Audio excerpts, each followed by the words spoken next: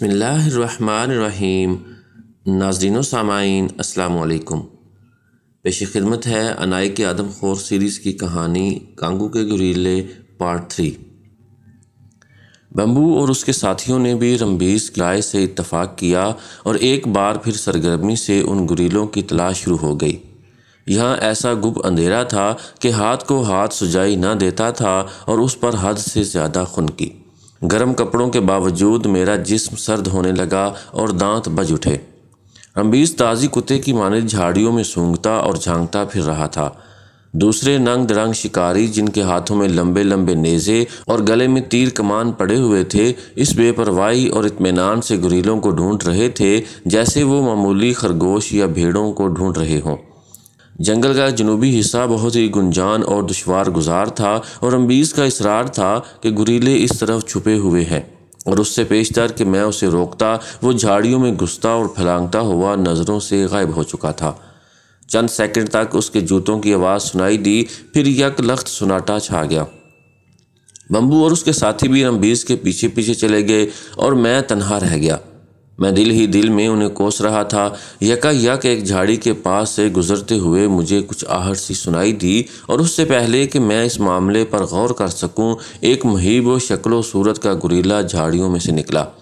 उसे देखते ही मेरा जिसम सुन हो गया और दिल की धड़कन जैसे रुक गई। मेरा उसका फासला दस फुट से ज़्यादा ना था। जंगल की तारीकी में उसका स्याह जिसम एक तवील कामत देव की मानत दिखाई दे रहा था। लंबे लंबे बाजू ज़मीन तक पहुँच रहे थे। उसकी पुश्त मेरी जानब थी। गुरीले को देखकर इतनी हैबत मेरे दिल पर तारी हुई कि बयान से बाहर। राइफ़ल मेरे हाथ में थी और मुझे याद है कि मैंने उसे जुम्बश देने की कोशिश भी की थी। इतनी देर में गुरीला दबे पाँव चलता हुआ झाड़ियों में गुम हो चुका था। मेरे कदम सौ सौ मन के हो गए थे। मैंने उल्टे पाँव भागना चाहा, लेकिन ज़मीन ने जैसे मुझे जकड़ लिया। क्योंकि मेरे अकब में एक बार फिर खुश्क पत्तों के चरचराने और झाड़ियों की शाखें टूटने की आवाज़ सुनाई दी। मैंने मुड़कर देखा तो रहा सा खून भी खुश्क हो गया, क्योंकि मादा गुरीला अपने नर की तलाश में उधर ही आ रही थी। मैं हैरत अंगेज़ फुर्ती के साथ झाड़ियों के अंदर लेट गया। उस वक्त मैं अगर चाहता तो उसे आसानी से अपनी राइफ़ल का निशाना बना सकता था, लेकिन इरादा तो ये था कि उन्हें ज़िंदा पकड़ा जाए, इसलिए गोली चलाना मुनासिब न था। रमबीज़ और दूसरे शिकारी न जाने कहाँ गारत हो गए थे। और मुझे रमबीज़ पर इतना गुस्सा आ रहा था कि अगर वो मेरे सामने होता तो शायद शूट कर देता। गुरीला बड़ा समझदार जानवर है। ये दोनों गुरीले बाम गए थे कि शिकारी उनके ताकुब में लगे हुए हुए हैं। इसलिए झाड़ियों में छुपे रहे और सुबह होने से पहले पहले ये दोनों यकीनन इस वसी जंगल में गायब हो जाएँगे। उस वक्त ज़रूरत थी कि रमबीज़ और शिकारियों को वापस बुलाया जाए। फ़ौर ही मेरे जहन में एक तदबीर आई और मैंने अमली जामा पहनाने का फ़ैसला कर लिया। मादा गुरीला मेरे सामने से गुजर कर अपने नर की बू सूंघती हुई दूसरी जानब चली गई। मैं रेंगता हुआ आगे बढ़ा और एक दरख्त पर चढ़ गया और टार्च जला कर उसकी रोशनी चारों तरफ़ फैलाने लगा। फिर एक हवाई फायर भी किया, जिससे जंगल की सोई हुई फिजा बेदार हो गई। गुरीले जो पहले ही मुस्तरब थे, अब बेख्तियार गराने और सीना को भी करने लगे। चंद में बाद मैंने दूर जंगल में एक टार्च की रोशनी देखी जो करीब आ रही थी। रंबीज उसके साथियों ने मेरा इशारा पा लिया था और वो तेज़ी से मेरी जानब आ रहे थे। फिर रंबीज की राइफल से जवाबी फायर का धमाका जंगल में गूंजा। फ्रेंच कांगो के उस तारीख और सर्द जंगल में रात के वक्त राइफलों के धमाके, शिकारियों का दौड़ना, टार्चों की मुसलसल रोशनी और गुरीलों की चीखें एक नाकबले फरामोश वाक़ बनकर जहन पर हमेशा के लिए नक्श हो गई। मैंने दोबारा टार्च की रोशनी में उन ग्रीलों को देखा, जो बदहवास होकर इधर उधर झाड़ियों को तोड़ तोड़ कर उनमें छुपने की कोशिश कर रहे थे। ताहम उनकी दहशत दिलों पर ऐसी बैठी हुई थी कि 20-25 तजर्बाकार मकामी शिकारियों की ये जमात, जिसकी रहनुमाई बम्बू और रमबीज़ कर रहे थे, गुरीलों से कुछ फासले पर ही रुक गई। रमबीज़ ने पुकार कर कहा, आर्मंड, तुम कहाँ हो? मैंने हलक फाड़ कर जवाब दिया, मैं यहाँ दरख्त पर मौजूद हूँ। फ़िक्र ना करो, ये गुरीले सुबह हमारे कब्ज़े में होंगे। बम्बू से कहो कि वो इसी वक्त चंद आदमियों को गाँव भेजकर सब आदमियों को सुबह तक पहुँचने की हदायत कर दे, ताकि हम इन्हें ज़िंदा पकड़ सकें। ख़बरदार, कोई शख्स इन्हें नुकसान पहुँचाने की कोशिश ना करे। ये गुरीले जवान हैं और आसानी से मानूस हो सकते हैं। थोड़ी देर बाद मैं दरख्त से उतर कर रमबीज़ के पास पहुँच गया। खुशी के वे मारे, वो मुझसे लिपट गया और बोला, बस, अब फतह ही फतह है। हम इन्हें सुबह तक यकीनन गिरफ़्तार कर लेंगे। खुदा का शुक्र है कि इस वक्त दो पिंजरे बिल्कुल तैयार हैं। पिंजरे ना होते तो इन गुरीलों को हम कहाँ कैद करते? उधर बम्बू चीख चीख कर अपने आदमियों को मुख्तलिफ़ हदायतें दे रहा था। गुरीले भी लगातार गुर्रा रहे थे। उन्हें रोकने के लिए चारों तरफ़ जल्दी जल्दी घास फूस के ढेर जमा करके आग लगा दी गई। गुरीले आग से बहुत डरते हैं और उसके करीब नहीं जाते। आग के अलावा रोशन होते ही हमारे कल्बो, जिसम में कुत का एक नया ख़जाना भर गया और जंगल में रोशनी फैलने से इधर उधर का मंजर साफ़ दिखाई देने लगा। सर्दी से बचने के लिए हमने भी आग के करीब ना ले ली। सारी रात गुरीलों ने एक सानिए के लिए भी हमें चैन न लेने दिया। वो सीना पीटते और गल मचाते रहे। हमें खदशा था कि उनकी आवाज़ सुनकर अगर ग्रोह के 20-25 गुरीले इधर निकल आए तो अजान बचाना मुश्किल हो जाएगा। हम सुबह होने की दुआएँ मांग रहे थे। बम्बू ने जो चंद शिकारी गाँव से आदमी लाने के लिए भेजे थे, वो हवा की तरह वहाँ पहुँचे और नतीजा ये निकला कि जब मशरक से पो फटी तो जंगल में जिधर नज़र जाती, नांग धड़ांग और स्या फाम मर्दों और औरतें दिखाई देते थे। हर एक के हाथ में कोई ना कोई हथियार था। औरतें नहायत जोशो खरोश से रक्स कर रही थीं। अक्सर औरतों के पास रस्सियों और मोटे बाँध के बने हुए जाल थे।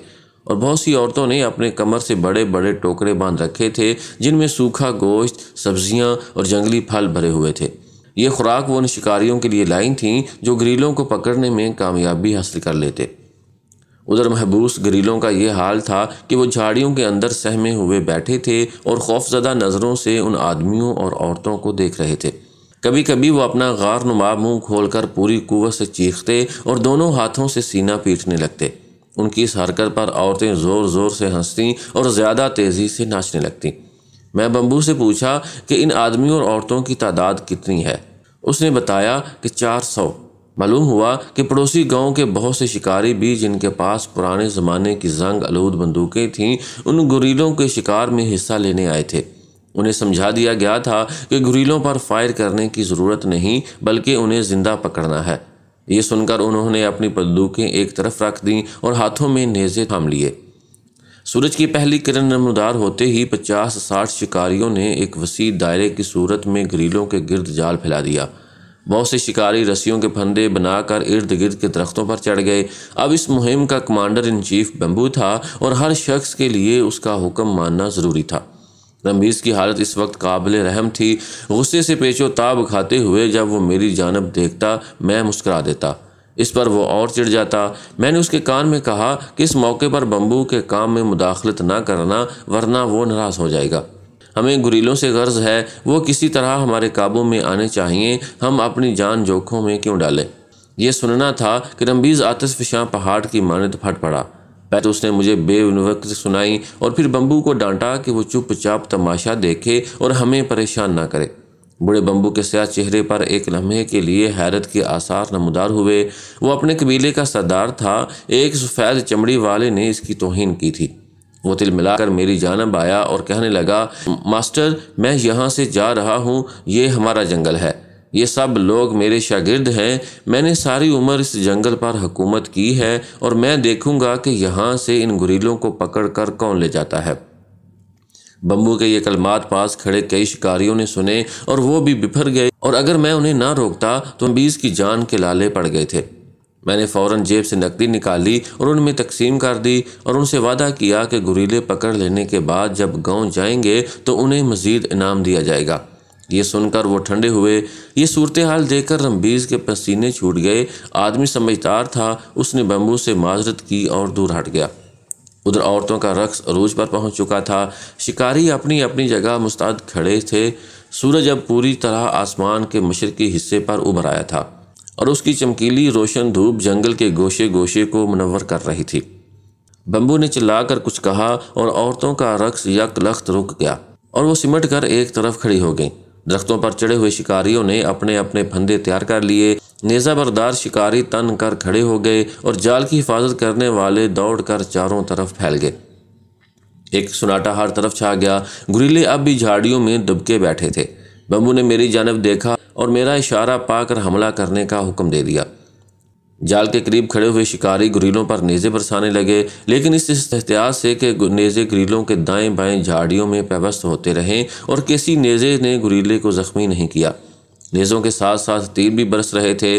गुरीलों ने लर्जा खेज चीख मारी और झाड़ियों से बाहर निकलकर एक जानब दौड़े, लेकिन जाल ने रास्ता रोक दिया गुरीलों ने अपना मज़बूत और लंबे हाथों से जाल को नोचने की कोशिश की तो शिकारियों ने हल्के हल्के उनके जिस्मों में नेज़ों की अनियाँ छुपो दी।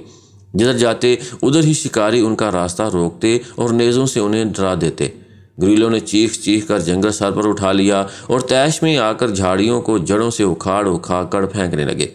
मुझ पर यह मंजर देखकर हैबत तारी थी, लेकिन जंगली औरतों और तमाशाई मर्दों की तरफ़ से कहकों और उछलने कूदने का मुजाहरा किया जा रहा था। रमीस दौड़कर जाल की तरफ़ गया और बेमिसाल बहादुरी का सबूत देते हुए एक दरख्त पर चढ़ा और ग्रीलों की सरहद में कूद गया। सैकड़ों आदमियों के हलक से बेख्तियार चीख निकल गई। रमबीस की यह हरकत इतनी गैर मुतव और दीवानगी से भरपूर थी कि खुद उस जंगल के बासी जिनकी उम्रें ऐसे ही मोहलक तरीन मुहिमों में कट जाती हैं अंगुश बंदा रह गए। रमबीज़ अब कतई गुलीलों के रहमो करम पर था। अगरचे वो बदहवासी और खौफ की वजह से उसके नज़दीक ना आए, तहम वो उसे आन के वाहद में पकड़ कर हलाक कर सकते थे। रमबीज़ के एक हाथ में राइफ़ल और दूसरे में रस्सी का फंदा था। उसने ललकार कर दूसरे शिकारियों के भी जाल के अंदर कूद पड़ने की हदायत और उधर बूढ़े रबम्बू ने हैरत अंगेज़ ज़रूरत का मुजाहरा करते हुए जाल को अबूर कर लिया। बस फिर क्या था? बीसियों नेज़ा बरदार शिकारी गुरीलों की सरहद में पहुँच गए। गुरीले जो इधर उधर जान बचाने की कोशिश में दौड़ रहे थे दबक कर फिर झाड़ियों में जा छुपे और वहीं से घराने और चीखने लगे। शिकारी अब चारों तरफ़ से उनके गिर्द घेरा डालने में कामयाब हो गए और उस हिस्से में जितनी भी झाड़ियाँ थीं, वो चंद लोगों ने लंबे लंबे कुल्हाड़ों की मदद से उखाड़ फेंकी और जगह कुशादा हो गई। ग्रिलों पर सबसे पहले रमबीज ने फंदा फेंका और फिर हर तरफ़ से फंदों की बारिश हो गई। मकामी बशिंदे अमरीका के काउ लोगों की तरह फंदे बड़ी महारत से फेंकते थे। आधा घंटा की जान तोड़ दगो दो के बाद उन्होंने गुरीलों को कतई बेबस कर दिया।